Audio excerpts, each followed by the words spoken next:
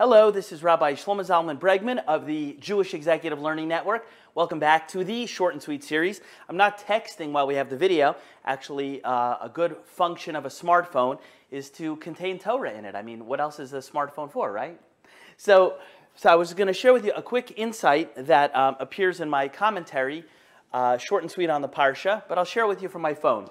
So in the Chumash, in the Bible, in the book of Genesis, there is a verse that says that at the end of Abraham's life, when Abraham was old, it says that Abraham was old, ba bayamim, he came with his days.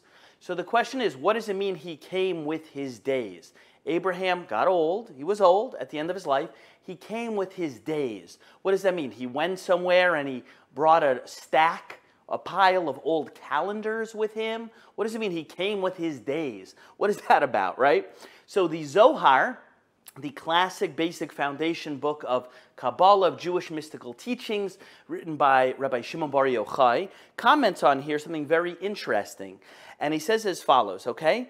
That basically, here's what you have to know. In Gan Eden, in the Garden of Eden, meaning in the next world, a person, uh, when a person leaves this world, we exist in neshama form. We exist as a soul, and that's what we are in the next world. The question is, when we go to the next world, what is up there in Shemayim and Gan Eden? What are we? A bunch of like clouds floating around, and that's my grandma, and that's my grandpa, and that's Moshe Rabbeinu. Like, what are we? So, uh, the way the Zohar explains it is that the neshama, the soul in, in Gan Eden, in heaven, it actually exists in a way that it is clothed. It has begodim, it has clothing on it. So you might say, well, what is it wearing?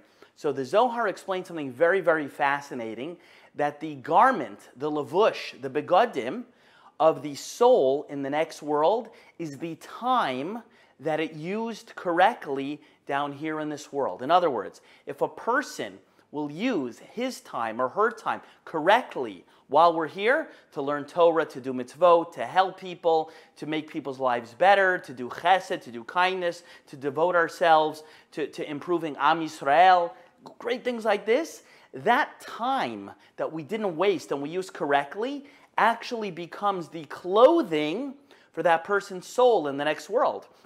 So if a person uses all of their time correctly, you're really ready to go when you get upstairs.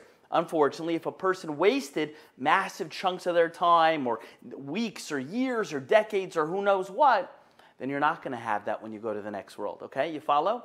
And in fact, the Zohar says something very, very cool. If you look in the beginning of the Torah, we find the famous story of Adam and Chava, Adam and Eve, Adam and Chava in Gan Eden, not the Gan Eden in Shemayim, but the Garden of Eden down here. And we find that what happened for them, we find that they sinned on their first day they were created. They were created. And already that day they sinned in the Garden of Eden. I mean, you know, things happen. Well, that is what happened. And what happened? So then the verse says then that they realized they were naked. They, they, were, they didn't have clothing. And then the verse says that God dressed them. God dressed them and made begodim for them. So the simple understanding is that after they sinned in the garden, their awareness changed and they realized they didn't have clothing and then they felt embarrassment, busha, shame, and then they and then they wanted clothes. That's the simple understanding. That's a simple idea and that is true. But there's something even bigger and deeper than that. And the Zohar explains that what happened is that God gave them time, God gave them day one of creation. Day one in history, right? Well, it wasn't day one of creation, they were created on day six. But you know what I mean. Day one of human history. And what happened? They had one day and they wasted it by rebelling against Hashem, by rebelling against God's word. So what happened? So since they were in Gan Eden and they had wasted the time, God had to fashion for them new begadim. You follow? So therefore, so what does this all have to do with Avram Avinu? This has to do with Avram Avinu, the Zohar is saying, because Abraham, Baba Yomim, what does it mean he came with his days? Abraham even though he was already a very, very elderly man, he had used his time in this world that God had given him for chesed, for meaningful things, for mitzvot, for Torah, for, for helping people, for spreading awareness of God in the world, for tzedakah, for charity. Abraham had used his time incredibly well.